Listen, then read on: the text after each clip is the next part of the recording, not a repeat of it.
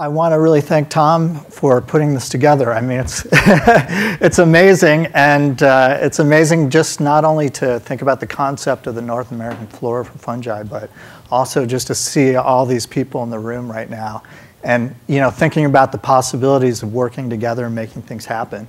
It's really exciting.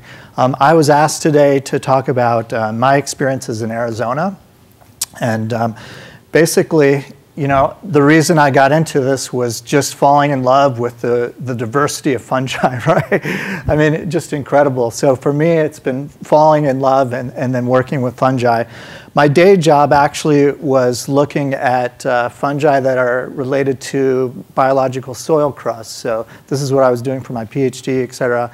And I was really involved in sequencing surveys. Um, so my work in Arizona documenting uh, fungal diversity was basically uh, for love. There was no money, and I didn't really have any time. So um, I ran into a lot of things. But when, when people think about Arizona, this is what you think about, right? The Sonoran Desert. So in actuality, this is not really the case. Um, Arizona has a real wonderful diversity of habitats, okay? Um, these are broken out by biomes, okay? Um, so numerous biomes represented in Arizona, moving from the traditional Sonoran Desert that everyone thinks of all the way up to alpine tundra. okay, so just a real diversity of habitats. Okay. And um, I'm sure many of you in the room are familiar with David Hawksworth's uh, kind of back of the envelope estimation of fungi. So about one in every, for every single plant species, you have about six different fungal species as a very conservative sort of estimate. So we kind of did the same thing for Arizona. We know about 4,000 plant species there. Multiply that by six, and we're looking at the potential of about 24,000 uh, fungal species in Arizona alone. Okay, so what my primary goal for this project was to really uh, get together a checklist for the macro fungi, and um, basically, so to help myself identify things.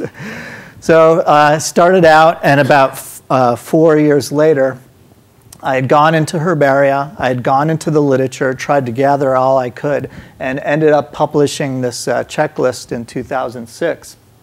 Okay? And in this checklist, we have about uh, uh, 1,200 macrofungal species. Okay? so, what we're actually covering in Arizona is quite low, and it's uh, more like this number here. Okay? We're missing the mark for sure. Um, so these data were then uh, put into a website, so to make the data publicly available. So I had a checklist, uh, and lichens got thrown in, and slime molds, and uh, but that was the first goal. Um, these data are now all on the MyCoPortal, so uh, we have the lists of variables there, so they're contributing to the more um, kind of general surveys that we have going across the country. Um, and I'm not talking about MyCoPortal today, but I'd be happy to uh, sit down with any of you and talk about that for sure and walk you through that. Um, the second component of this was the Arizona Mycota project. So again, this was just done on no time and no budget. Um, and basically, it was a website to tell a little bit about uh, fungal diversity, and then out there as a net, um, basically to ask people to, to contribute photographs or to contribute data or to contribute specimens. So it wasn't an organized uh, uh, BioBlitz type of a situation. It was just asking people to contribute. And we met many wonderful, nice people. And what's really important, I think really critical here, is the fact that the so-called citizen mycologist is such a valuable uh, component. And I want to use the example, we, uh, in southern Arizona, there was many people working for several years down in the Chiricahua Mountains, right? And it's a real treasure trove of fungal diversity down there.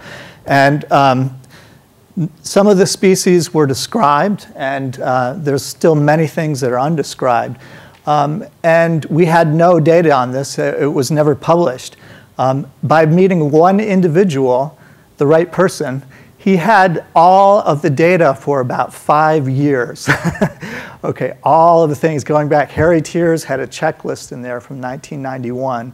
Um, so he had checklists, he had data, and, uh, it, and also these really amazing photographs. So, I mean, the, the, the citizen contribution can be absolutely phenomenal. Okay? Um, and, and then when uh, Tom sent me an email kind of asking some questions, okay, one of the questions was, uh, did, sequence, did sequencing reveal unexpected changes in identification or unexpected diversity, right? And there's, there's no doubt in my mind that there's a lot of cryptic diversity out there, right? Um, but I would like to turn this around a little bit and just ask the question, did examining specimens reveal previously undocumented fungal diversity, right? Because even at a real fundamental level, um, you know, the, the Arizona mycota is not known, and that's just Arizona. And we have so much diversity in habitat there. This is just from some of my master's work. I was working on uh, gastroid fungi, what used to be called the Lycoperdaceae, right? Um, the uh, the name, species names that you see in gray were the ones that had been previously published. And that was, they were all throughout the literature, so I had to go and gather them. So 28 species um, just in this group, Lycoperdaceae, and uh, only six of them had been previously documented. So that was an effort moving into the herbaria, looking at the specimens, and going out and making field collections too. So there's a lot of work ahead uh, that's related to getting out in the field, looking over herbaria. It's going to be very nice that we have really well documented records from different herbaria. People will be able to go online, look up and see what's available from different parts, which will be fantastic. Um, but there's a lot of road work you know, hitting the ground. Um, another example, um, I'm doing kind of on the side again, some work on Tulostoma, okay? And this is just a, a, distribution map that we have made, compiled from uh, different herbaria records, okay? And if you look, I want to point out um, right here, this is where uh, William Henry Long was working, right? You see all the species here, right? Look at Nevada, you know. There's two there. So is that real? Definitely not. So I think, um, again, this is where um, motivating citizens and, and getting people involved, I mean, there's no way we're going to be able to cover uh, the breadth of uh, North America without really recruiting the public to help in that effort. So um, I think that's a really important part. Um, the second thing I'd like to kind of bring up is um, my new day job has been working with large scale sequencing projects, right?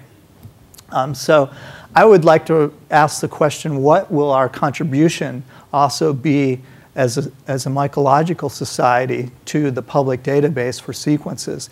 Okay, I want to give you an example now. I've been involved in a, a project that's uh, sequencing soil fungi, right? And we now have the ability to generate millions of sequences literally. And um, so here's a project where 45 sites, and we generated about 5 million sequences that passed the quality control, et cetera. And we used a reference base sort of uh, assignments to recognize our OTUs, equivalent to species, or to put names on things, right? okay? So as it turns out, taking the database, the public data that we have right now, which is GenBank databases like Unite, we combine those all together, use those as a reference, and we're only able to recognize, on average, about 20%, 25% of the diversity that, that's there. And sometimes it's as low as 3%, okay? And that's what we can recognize as OTUs. The second component of that is actually putting names on things, right? So what we can typically name as, as well-documented species, if you take uh, GenBank for granted that all the names are correct, which is another issue, but um, if you take that on its face value, all of, of these 25% that we can recognize, only maybe about 50% of the sequences we can then actually assign taxonomies to. So very, very low numbers. And again, that, the numbers get very low. So I think um, it's, it's going to be very valuable to, to make a contribution not only into recognizing specimens that are there, going back, compiling those data, involving the citizens, but secondarily, I think we have a real valuable contribution to make in terms of this is where a lot of this, the, our surveys are going, where people are doing massive sequence surveys. And so there, these, these types of surveys rely on well-documented fungal sequences that go along, again, with good data. Things like having specimens linked to that is an important com uh, component of that. Anyway, um, just uh, that's sort of the, what I had to say. uh, I'll, I'll, move us along and uh, we, can, uh, we can move forward. But thank you.